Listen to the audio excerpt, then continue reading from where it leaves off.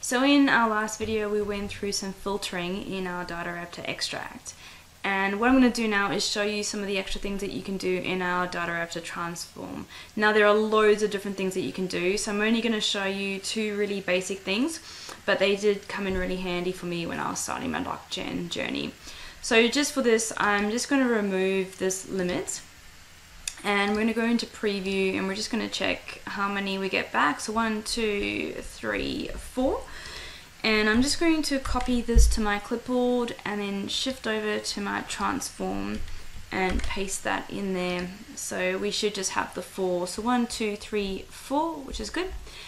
And then coming into our transform what I want to do is sum up my opportunity amount to get a grand total or total amount so just noting that it comes in, um, well, it's sitting under repeat one, but it actually comes in through account. So it comes through as account and then our um, opportunity um, amount there. So I'm just going to copy that and then go into formulas.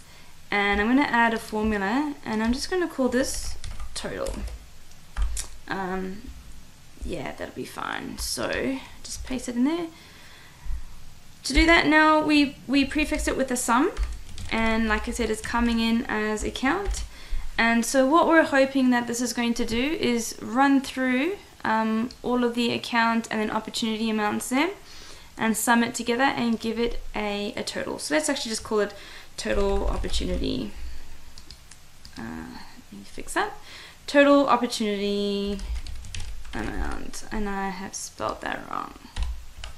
Okay, um, going, going back into transform, we've got to add it in there. And so let me copy and paste it so I don't mess up the spelling. And so the input is our total opportunity amount and the output is that. And we're going to make it currency as well. And if we preview, uh, we can see up the top there is our formula field that's coming back as our total opportunity amount and it's summed up.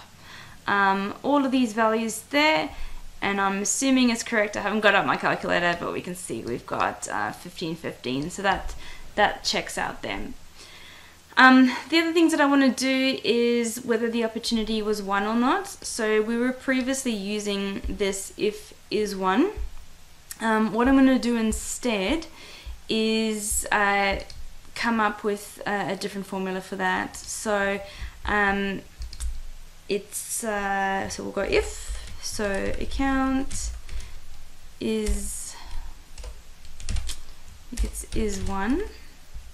Uh, let me just double check. I think it's opportunity is one. So that equals true.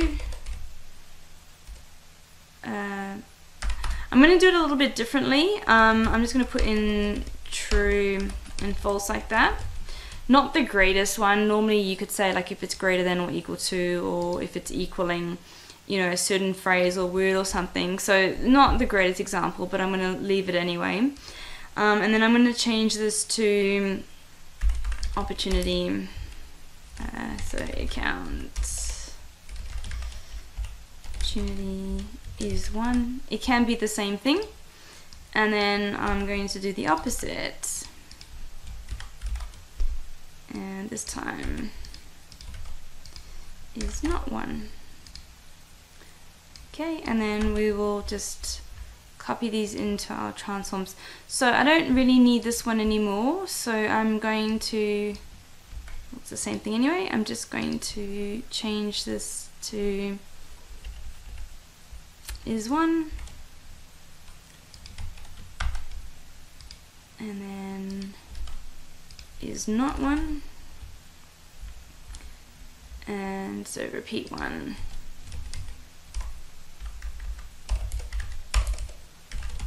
And of course you could have repeat two, repeat three for different um, data that you're bringing in. So is not one. And let's just preview that. Okay, so is one is true, is not one is false, and then is one is false, um, is not one is true. So that is coming through the way that we would expect it to. I'm just going to tidy up the um, uh, the output path a bit more. So uh, I want this to be an if. So like I said, I like to prefix, prefix it just so it's very clear to me when I'm looking at the document what type it is. And I'm actually going to change this to um, if opportunity. And I'm going to put that on my clipboard so I can spell it again later. And then we'll go um, if like that and let's just execute so um, yeah so it's just got a bit out of order here. So true false true false false true. This, so that's sort of what we're expecting there.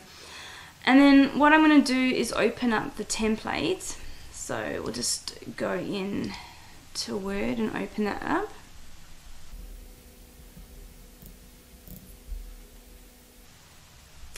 And underneath this, I'm just going to say opportunity total. And it, I just like to copy and paste. So total amount.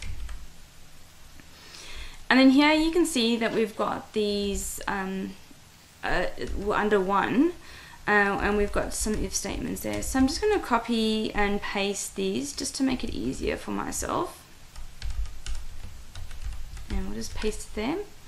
So um, we've got here the if and so we'll have it as opportunity and you can see the tables sort of jumping around. Um, I'm just going to fix it up so it doesn't do that anymore. So table properties and then I'm pretty sure it's um, options and I'm just going to unselect it so it doesn't automatically resize and so we're going to say it was opportunity is 1 so if this is true it's going to say yes and just making sure that it's the exact same thing over there and fixing up so there's no spaces. And then the other one was um, is if opportunity is not 1 then we're going to say no so instead of saying true and false we're going to say yes or no. Now I do realize in the transform in the formula you could have actually had that as your formula where you say if it's equal true then say yes. If not say false. Um, but for the purpose of showing visibility rules um, this is a really easy way of doing that. Um, and we could also you know use other things. So yeah, just to let you know, uh, I understand that this is not the most efficient way of doing this particular thing, but in terms of the demo, it's the easiest for me. So let's just fix this up and save it. And I'm just going to bold this as well. Alright, so we're coming back in now. We close all of that. And we go into our um, document template deactivate and re-upload.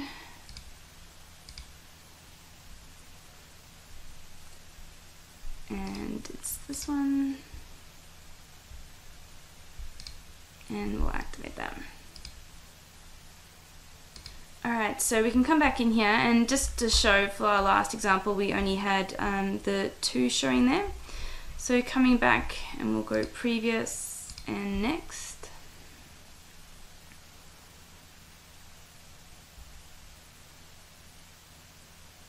Okay, let's let's cross our fingers and hope that this has worked. Alright, so we've got a few things there. So our opportunity total didn't come through for some reason. That's okay, we'll troubleshoot that. But we can see that the yes is showing, yes is showing, and yes is showing. So no isn't showing. Oh, there it is there. Um, it's just the table's not really um, sitting very nicely. We should probably change that a little bit. So I'm actually going to just quickly go and change that just so that it uh, looks a bit nicer and also can show you um, how to do that. So we'll get this open. Um, so to do that, if we remove the uh, line from there and we'll just paste it there. So there's our repeat one and we'll get rid of this one here and this time we'll just put it I'm just going to paste it there. I know it's not looking super nice but that's okay. Um, I believe that should work okay. And then just for my table I'm going to go into my properties and we're going to say that it can't go over. Allow row to break across pages so we're just going to set say okay to that and save it. Now I haven't spent too long on that so it might not be perfect but we'll see what it looks like anyway.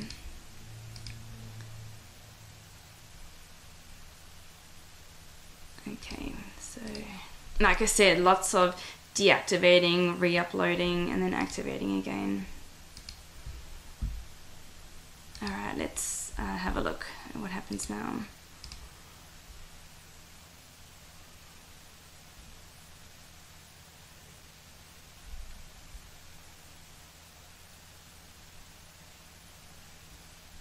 Okay, so that's actually going over quite nicely. Um, for some reason, oh, I think it um, doesn't render super well um, in this PDF because I did say not to go over lines. Let's just see what happens with that Word document.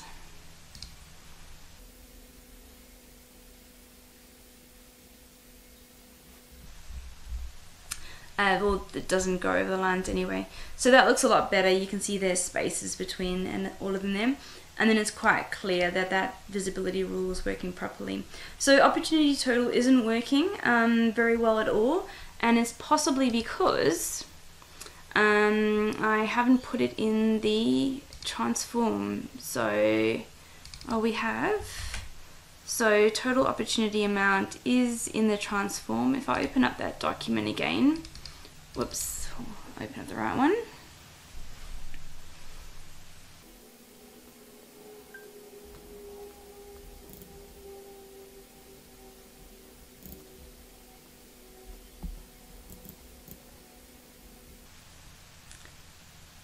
Okay.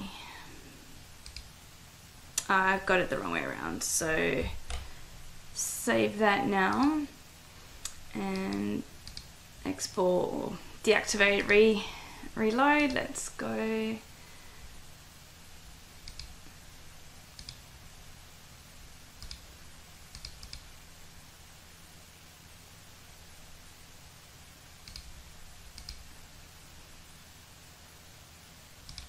All right. And if we go back and preview that again, we should have the total amount in there now.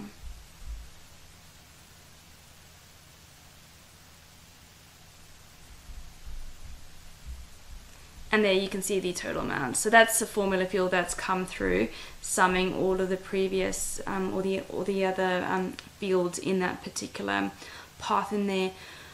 Okay, so that's um, a few things that you can do with the transform like I said, I won't do it, but um, I could, for example, if there was something else here where it had, um, you know, yes and no, assuming that these were valid um, options for this field, of course, um, you could do the same there. So you, it doesn't have to be a Boolean uh, field or a checkbox field that you're referring to there.